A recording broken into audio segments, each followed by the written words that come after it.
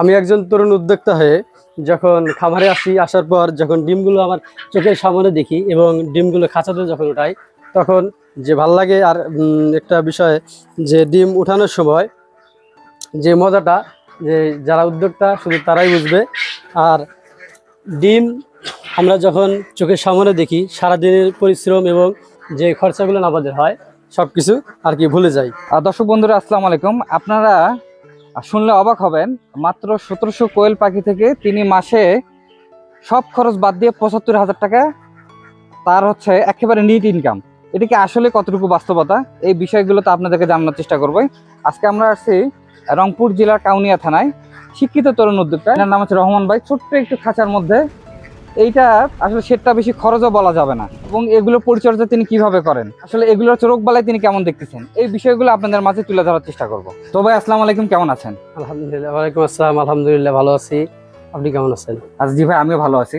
তো আপনি যেটা আমাদেরকে শুরুতে বললেন আপনার মাস শেষে এখানে সতেরোশো পাখি থেকে সব খরচ বাদ দিয়ে আপনার এখানে কেমন টাকা প্রফিট আসতেছে ভাই? জি আমার এখানে এই সতেরোশো পাখি এই পাখি মূলত আমার সব খরচ বাদ দিয়ে আমরা যখন প্রত্যেক দিন এই পাখিগুলো খাবার দিই দুই বেলায়। খাবার দিতে মানে সকালবেলা এগারো গ্রাম এবং বিকালবেলা এগারো গ্রাম। এই এগারো গ্রাম বাইশ গ্রাম খাবার মূলত এরা খায়। এই সতেরোশো পাখিতে বাইশ গ্রাম খাবার খাইলে মনে করেন আমার প্রত্যেক দিন সাঁত্রিশ কেজি খাবারের মতো লাগে। আচ্ছা। আচ্ছা সাঁত্রিশ কেজি কেজি খাবার মনে করেন যে আমরা প্রায় আমরা বস্তা হিসেবে কিনি তো। তো সেখানে আমার প্রায় দুই হাজার টাকার মতো খরচা হয়। আর এই সতেরোশো পাখি আমার প্রত্যেক দিন পনেরোশো পনেরোশো দশ, বিশ এবং সাড়ে চোদ্দোশো ডিম আসতেছে।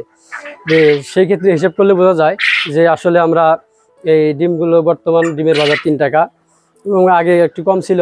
তা বর্তমানে যে রেট, এই রেটে আল্লাহ রহমতে পঁচাত্তর হাজার টাকা হিসাব করলেই আপনারা নিজেরাও হিসাব করে বের করতে পারবেন আর কি। ভাই, অনেক সময় দেখি যে আপনার কোয়েল পাখিগুলো কিন্তু খুবই ঠোকরা ঠুকরি করে। জি। আসলে সেক্ষেত্রে আপনারা কি ব্যবস্থা নিয়ে থাকেন? জি ভাই কোয়েল পাখি যখন ঠুকরা টুকরি বেশি করে আপনার যখন এই মাত্রা যখন বেশি হয় আচ্ছা। আপনার খেয়াল রাখতে হবে আপনার শরীরের মাঝে মাত্রা কেমন আছে। যদি মাত্রা বেশি থাকে তাহলে ওই ওই ক্ষেত্রে একটা মাত্রা আরেকটা মাত্রা কিন্তু অ্যাটাকে যায়। অ্যাটাকে যাওয়ার কারণে ঠুকরা টুকরি বেশি করে। আর হলো মূলত যখন আপনার তারপরেও বেশি ঠুকরা টুকরি করে আপনার লোম টোম উঠে ফেলে মানে আগে থেকে লোম উঠে তখন একটু মনে করেন যে আয়রন মানে আয়রনের ঘাটতিতে ঠুকরা টুকরি কিন্তু বেশি করে। তখন আপনি একটু আয়রন তারপরে আপনার যে ভিটামিন একটু দিলে খাবার দাবার সব কিছু ঠিক থাকলে আবার ঠুকরা টুকরিটা কমে যাবে। ভাই আপনার এই পাখিগুলো যে প্রতিদিন এতগুলো করে ডিম দিচ্ছে আসলে পাখি ডিম দেয় তখন তার কিন্তু ক্যালসিয়ামের ঘাটতি হয়। আপনারা ক্যালসিয়াম কি দিচ্ছেন বা বাড়তি কোনো ক্যালসিয়াম দিচ্ছেন জি জি জি এটা আসলে ভালো কথা বলছেন যে আমরা প্রত্যেকদিন আসলে ওই ক্যালপ্লেক্স দিচ্ছি ক্যালপ্লেক্স জিঙ্ক এগুলো আর কি আমরা সপ্তাহে আর কি একটা রুটিন করছি রুটিন অনুযায়ী দেই আর কি। আপনার ওই ক্যালপ্লেক্স দেই জিঙ্ক দেই। উম, তারপর এডিসেল মানে সব ভিটামিনগুলো আমরা মনে করেন যে সপ্তাহে ওই একটা লিস্ট করা আছে সপ্তাহে এক এক দিন এক একটা আর কি দেই। সাত দিনে সাতটা ওষুধ দেই আর কি। পাঁচটা ওষুধ হয় কিমরি ডোজ সহ। পাঁচটা ওষুধ সহ আমরা মানে সাতটা সাত দিনে দিই দিয়ে আপনার প্রত্যেক দিন যে লিস্টগুলো থাকে আর কি যেমন এডি ইসেল তারপরে অনেকদিন পরে যে ক্যালসিয়াম ইসেল মানে এইভাবে আর কি পর্যায়ক্রমে আমরা রুটিন করে প্রত্যেক দিন আর কি এই ভিটামিনগুলো দিয়ে থাকি। এইটা কোন জাতের কোয়েল পাখি? জি আমার এটা জাপানি জাতের কোয়েল পাখি। আর এটা জাপানি জাতি আর কি। আর আপনি কতদিন থেকে এই এই হচ্ছে কোয়েল পাখি পালনের সাথে আপনি সম্পৃক্ত জি আমি প্রায় বছর দেড়েক থেকে মানে দেড় বছর থেকে এই কোয়েল পাখি লালন পালন করতেছি। আর আগে যেগুলো ছিল ওগুলো আমরা বিক্রি করে দিয়েছি রিজেক্ট হয়ে গেছে। আগে ছিল আমার সর্বপ্রথম যখন শুরু করছিলাম, তখন এক, একশো পাখি দিয়ে শুরু করছিলাম আমি। শুরু করার পর, তারপরে দেখছি যে আসলে মোটামুটি ভালো একটা প্রফিট তারপরে এক হাজার লাগাইছিলাম, তারপর দুই হাজার করছিলাম, তার মাত্রাগুলো সব বিক্রি করে দিছি। এখান থেকে মাত্রা সব বিক্রি করে দিচ্ছি এই সেটা কোনো মাত্রা নাই। সব এই মাদি বাকি আছে, অল্প দুই চারটে মাত্রা আছে। আর মাত্রা থাকলে হয়তো খাবারের খরচাটা বেশি হয়। যেহেতু হেসিংয়ে আমরা এই ডিমটা দিচ্ছি না আর কি। হেসিংয়ে না দেওয়ার কারণে শুধু মাতৃ পাখি রেখে দিছি, মহিলা পাখিগুলো রেখে দিছি। যাতে শুধু ডিমের জন্য ডিম বাজার যাত্রার জন্য আমরা রেখে দিচ্ছি এটা। ভাই এখানে তো হচ্ছে আপনার একবার ছোট্ট একটু একটা শেড। এই শেডে আসলে শেডটা কতটুকু আছে এবং প্রস্থ কতটুকু আছে? ভাই এই শেডের দৈর্ঘ্য আছে আপনার প্রায় বিশ হাতের মতো। আচ্ছা। আর প্রস্থ আছে নয় হাত। আনুমানিক কেমন খরচ হয়েছে ভাই এই শেডটা করতে? এই সেটটা করতে ভাই খুব বেশি একটা খরচা হয়নি। তবে আপনার আমি অনেকদিন আগে করা সেটটা ছিল তো তবে বিশ হাজার টাকা তখন পঁচিশ হাজার টাকার মধ্যে ক্লিয়ার হয়েছিল আপনার ওই ইয়েটা সহ। অনেকদিন আগের টিন এখন তো টিনের দাম এখন একটু বেশি। আচ্ছা। সেই ক্ষেত্রে এখন হয়তো একটু বেশি হতে পারে। আচ্ছা যেহেতু কোয়েল পাখি পালনে আপনি বেশ সফল আমরা একবার শুরু থেকে আপনার কাছে জানার চেষ্টা করব। ভাই আপনি কি একবারে জিরো বয়সের বাচ্চা নিয়ে আসেন? জি আমি তো আগে জিরো বয়সের বাচ্চা নিইনি তবে এখন জিরো বয়সের বাচ্চা নিচ্ছি। আর যারা নতুন তাদের জন্য জিরো বয়সে না নেওয়াই ভালো ভাই। আচ্ছা। জি তার কারণ জিরো বয়সীটা আর কি আপনার মাত্রা বেশি হবে। এই একশোতে দেখা যায় যে ছয়শো পাঁচশো মাত্রা হয়। আর মাত্র ভাই আপনার এখানে তো সতেরোশো পাখি আছে। এগুলো কতদিন বয়সের বাচ্চা আপনি এই খামারে নিয়ে আসছেন আমি নিয়ে আসছিলাম প্রায় আপনার সাতাশ দিন আঠাশ দিনের বয়সের বাচ্চা নিয়ে আসছিলাম। আচ্ছা আচ্ছা মানে একটা কোয়েল পাখি কতদিন বয়স? মানে পঁয়তাল্লিশ দিন বয়স থেকেই ডিম দেওয়া শুরু করে আর কি। আর একটা না কতদিন বয়স পর্যন্ত এরা হচ্ছে ডিম দিয়ে থাকে?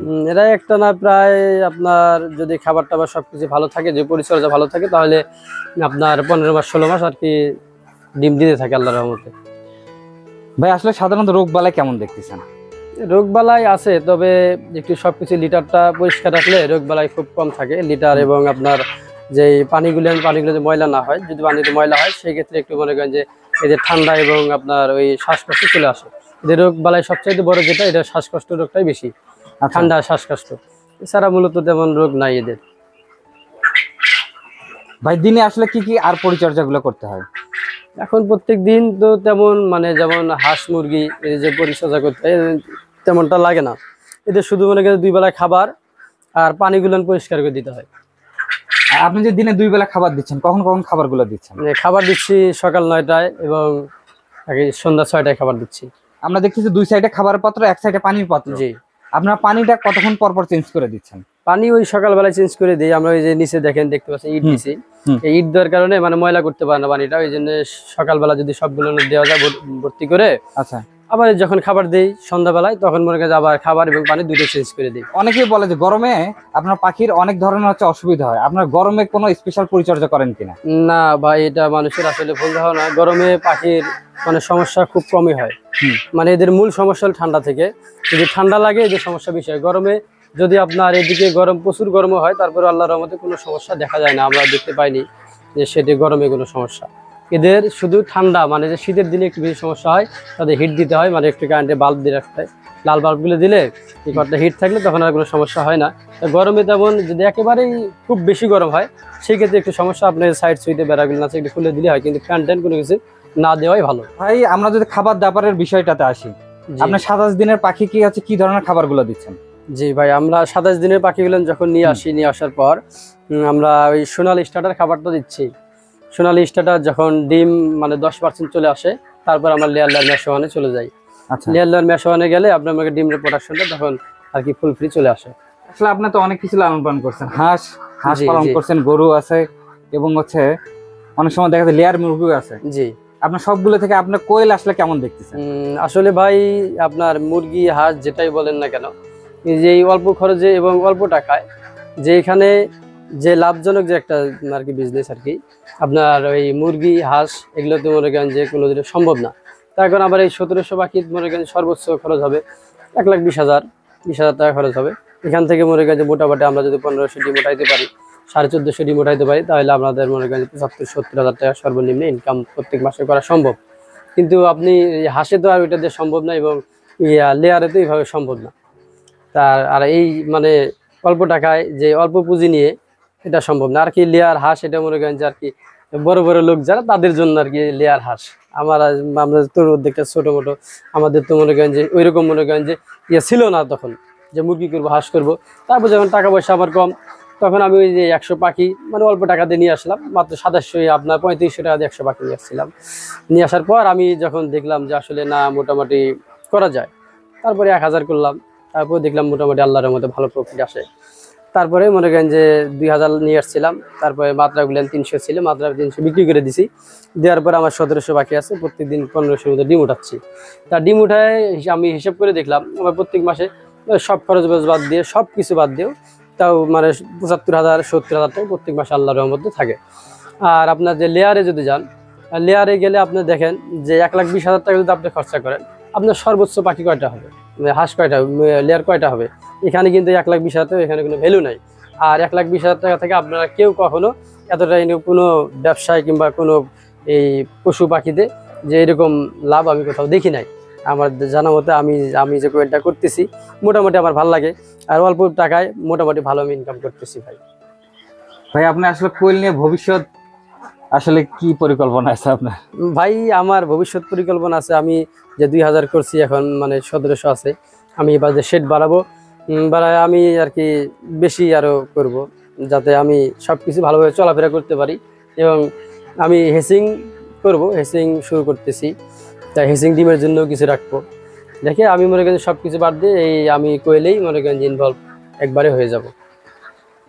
আর ভাই আপনার পরিচয়টা যদি দিতেন এবং আপনার ফোন নাম্বারটা সহ যদি আপনাকে শেয়ার। করতেন যে আমার নাম আব্দুর রহমান। আমার বাসা কাউনিয়ায় আমার ফোন নাম্বার আপনারা ইউটিউব চ্যানেল থেকে দিতে পারবেন।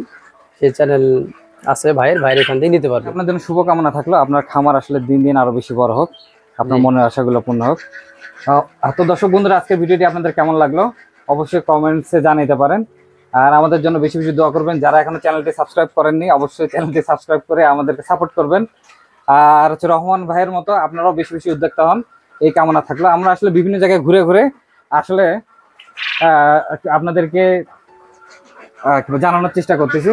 হেতু রহমান ভাই আজকের মতো এখানে আল্লাহ হাফেজ। আসসালামু আলাইকুম। ওয়ালাইকুম আসসালাম ভাই। এত এত দর্শক বন্ধুরা ভালো থাকবেন সুস্থ থাকবেন। আজকের মতো এখানে আল্লাহ হাফেজ।